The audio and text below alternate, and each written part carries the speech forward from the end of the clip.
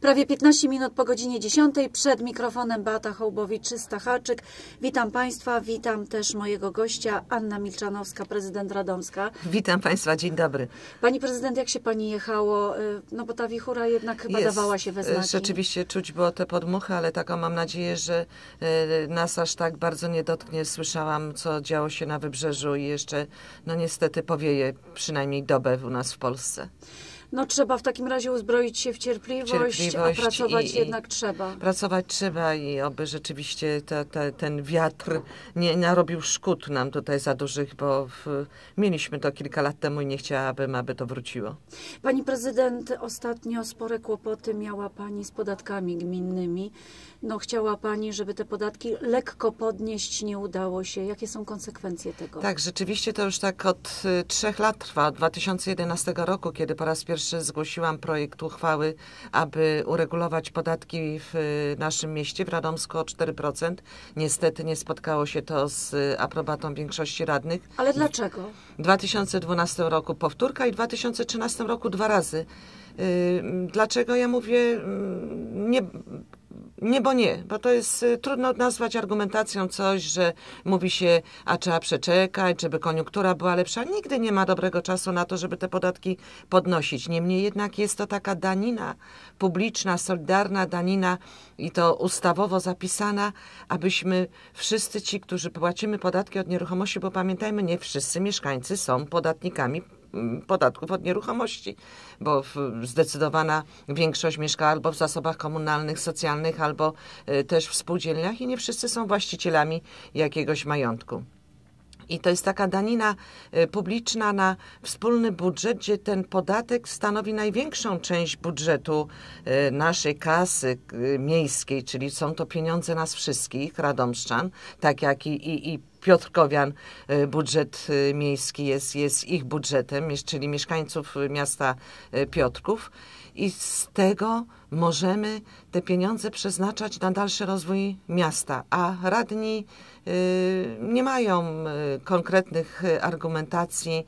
Myślę, że to jest takie populistyczne mówienie z ich strony pod publiczkę, bo kiedy spotykam się z mieszkańcami miasta i opowiadam o tym, y, ludzie w swojej takiej prostolinijności, y, mądrości życiowej mówią, przecież jeżeli my dołożymy y, nawet to 15 zł rocznie, ci co są właścicielami posesji, to po to, aby nasze miasto dalej mogło pięknieć, a my mogło się rozwijać. I oni rozumieją, że taki podatek y, powinien wzrosnąć. Jakiego rzędu to są pieniądze, gdyby tak y, podwyższyć To ten 4, podatek? to 4% to, to w, do kasy miejskiej wpłynęłoby około miliona 200 tysięcy więcej, a y, na takiego podatnika, mieszkańca, właściciela y, y, mieszkania 60-metrowego w bloku, to jest złotówka rocznie, y, posesji z garażem, z jakimś budynkiem gospodarczym, domkiem jednorodzinnym, y, to jest w granicach 17, 15-17 zł rocznie, y, fryzjerskiego w granicach 60 zł rocznie, stolarskiego, czyli gdzieś około 500 metrów y, kwadratowych y, powierzchni takiej y, produkcyjnej, to jest około 350 zł rocznie. No i najwięcej zapłaciłyby te firmy, które mają po kilka tysięcy metrów kwadratowych pod dachem, czyli firmy strefowe, od 10 do 15 tysięcy rocznie więcej. Ale pamiętajmy, że wszyscy oni wpisują ten podatek w koszty, y, czyli tym sposobem mniej odprowadzają pieniądze fiskusowi, pieniędzy fiskusowi i one zostają wtedy y, u nas. Gdybyśmy mieli podatki na poziomie podatków Piotrkowa Trybunalskiego, to miasto bardzo mądrze szło przez wiele lat i należy pochwalić i prezydenta pana Chojniaka i Radę Miejską. I gdyby Radomsko miało na poziomie e, piotrkowskim e, podatki, czyli o jakieś 30% więcej, to my e, w budżecie miasta mielibyśmy około 10 milionów więcej. To są e, bardzo duże A pieniądze. jaki budżet w ogóle jest? Około 140 milionów na rok 2014 y, budżet taki ogółem, czyli również z zadaniami majątkowymi. Do budżetu najwyżej za chwilkę wrócimy, natomiast powiedziała Pani 10 milionów. Na co by można było przeznaczyć? Ma Pani pomysł, co zrobić z tymi pieniędzmi, których niestety nie ma? Ależ oczywiście te, te, te pomysły są. Ja nawet, y, ponieważ spotykałam się ze strony radnych y, mm, jednego z ugrupowań y, z takim zarzutem, że dobrze byłoby, gdybym powiedziała, na co konkretnie te pieniądze, to zaproponowałam. To, czego wszystkim nam radomszczanom brakuje, porządnego basenu, ponieważ mamy basen kryty, który już wybudowany kilkadziesiąt lat temu, za mały, bo, bo ludzie chętnie pływają, więc wypadałoby go powiększyć o miejsca takie rekreacyjne, żeby całe rodziny mogły przy, przychodzić z małymi dziećmi, to pod dachem, a także wyjść na zewnątrz i zrobić kąpielisko. Również tam na, na zewnątrz basen taki rekreacyjny, gdzie można byłoby z latem z niego korzystać, bo no tu taką przykrością muszę stwierdzić, że miasto Radomsko nie ma basenu odkrytego, a to lato w 2013 roku było przepięknym latem i my Radomszczanie nie, nie mieliśmy dokąd trzeba było wyjechać, bo nie mieliśmy na miejscu, gdzie wypocząć nad wodą. No klimat się ociepla, raczej inaczej nie będzie. Przydałaby się jakaś właśnie Przydałaby się i tutaj właśnie, żeby... żeby już zacząć zbierać te pieniądze pod następną perspektywę unijną.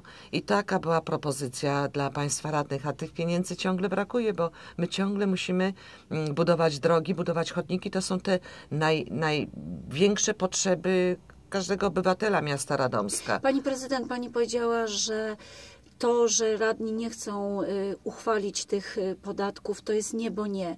Ale skąd taka jakaś ich solidarność? Czy ja to sądzę, na rok że... przed, ale przecież to już nie jest na rok przed wyborami, bo to jest już trzy lata wcześniej, się ciągnie. Wcześniej, jak te propozycje były, ja sądzę, że to, y, to jest takie dokuczenie konkretnej osobie, czyli Annie Milczanowskiej i myślę, że to takie krótkotrwałe, bo ja nie chciałabym i cały czas z panem skarbnikiem tak pracujemy nad budżetem miasta, że My nie chcemy zostawić stanu y, kasy miejskiej y, w, w, ta, w, takiej sytuacji, że jak my na przykład odejdziemy, bo ja nie wiem, kto wygra wybory w przyszłym ale roku. będzie pani startowała? Ja będę startowała, ale to nie znaczy, że Milczanowska te wybory wygra. No wszyscy, co będą startowali, każdy idzie po wygraną.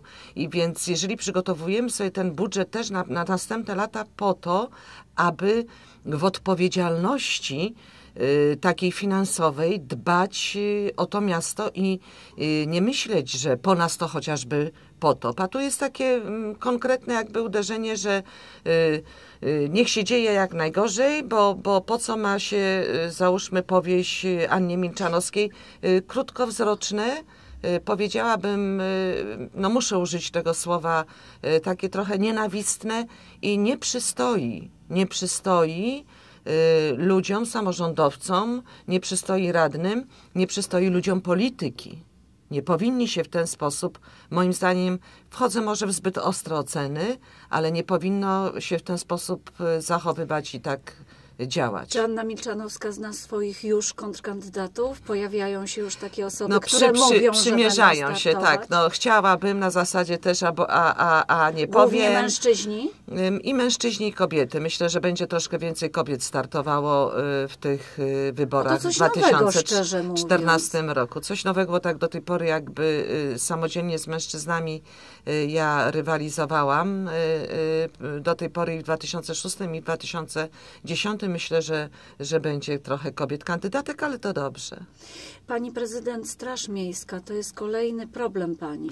Tak, tutaj y, takie wyzwanie poważne i to, to, to mam y, wsparcie 11-osobowej y, grupy radnych, z którą tworzymy takie porozumienie od 1 marca i myślę, że tym razem się uda. Pierwszą z uchwał, e, no niestety e, pani wojewoda i służby nam unieważniły. Teraz ruszyliśmy z procedurami od nowa.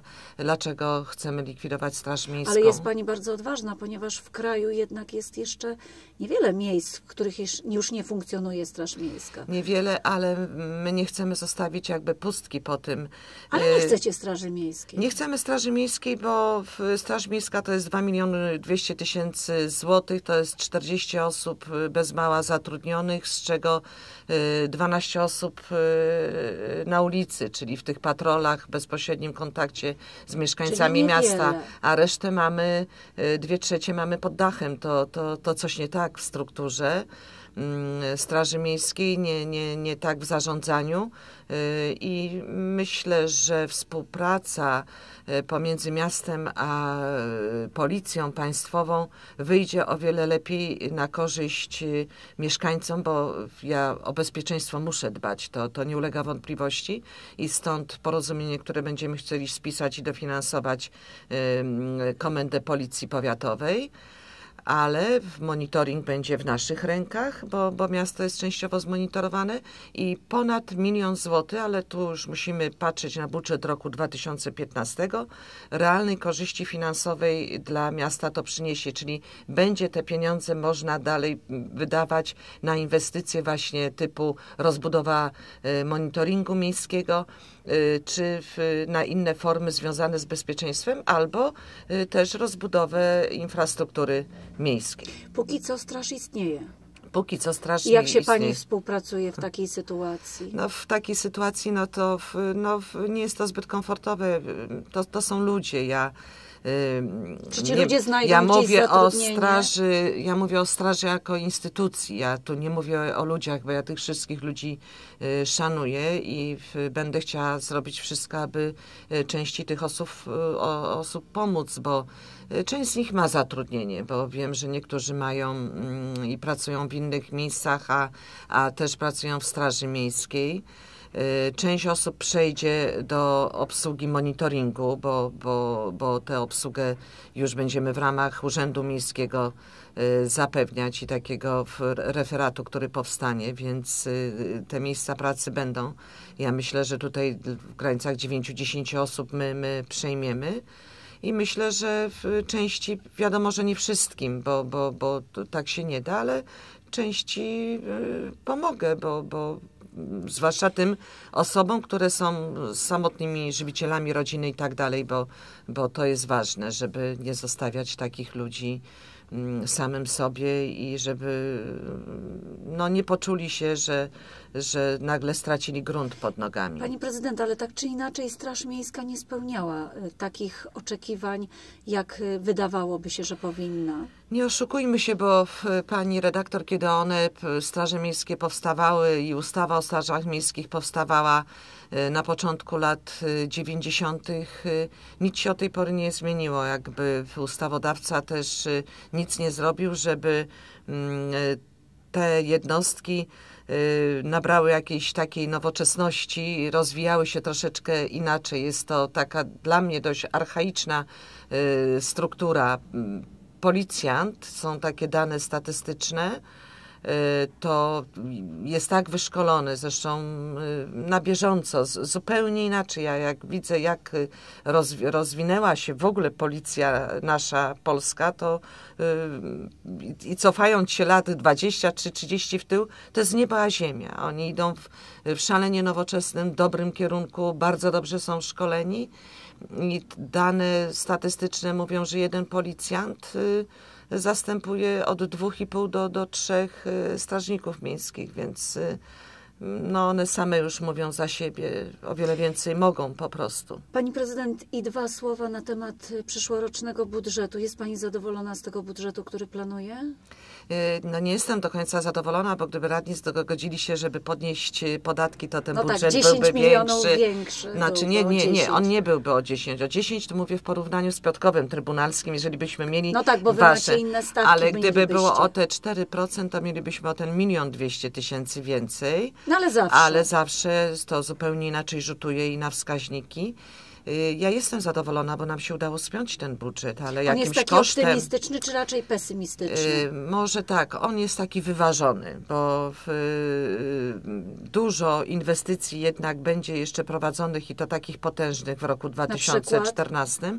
Y, Odda, będziemy oddawać, czyli zakończać już obwodnicę, też 6,5 kilometrowy odcinek obwodnicy mm, miasta.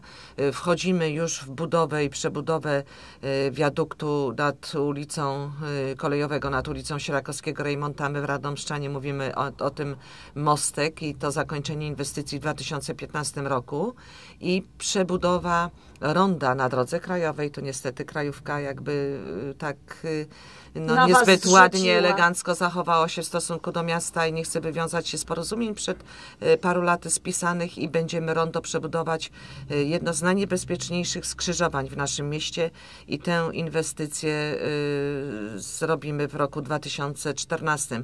Poza tym termomodernizacja jednej ze szkół, budowa boiska wielofunkcyjnego również przy, przy zespole szkolno-gimnazjalnym numer 7 na Kowalowcu.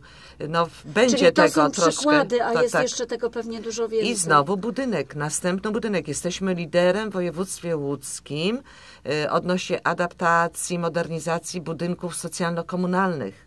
Liderem, bo y, pozyskujemy 30% pieniędzy z Banku Gospodarstwa Krajowego i tu się nisko bankowi y, kłaniamy, że nasze wnioski mm, y, tak y, widocznie dobrze są sporządzane przez miasto, że y, akceptację banku mają.